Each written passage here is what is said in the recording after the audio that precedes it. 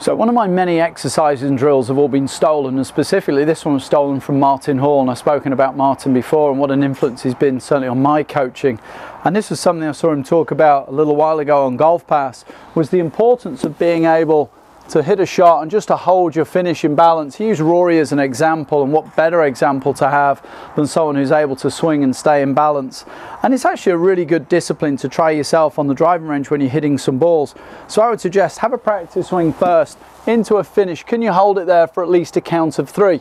Shaft behind the back of the head, weight on that left leg, nicely up and onto the right toe. Then see if you can do that when you're hitting some shots. So into your setup, get yourself organized, see if we can do that, see if we can hold it. It's maybe not as good as Rory, but it's not bad for myself. So again, weights forward, I'm up and on that right toe, club behind the back of the head, and I'm able to see the golf ball in its entirety.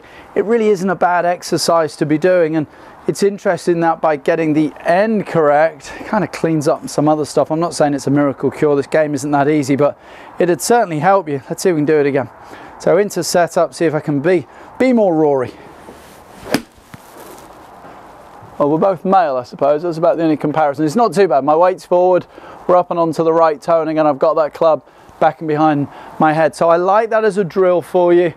Sort of flushes out the system, if you like, clarifies some some thinking, but great thing to do. Hit some shots, hold a finish, see if you can hold it for a count of three. Give it a go, it's definitely going to help your game.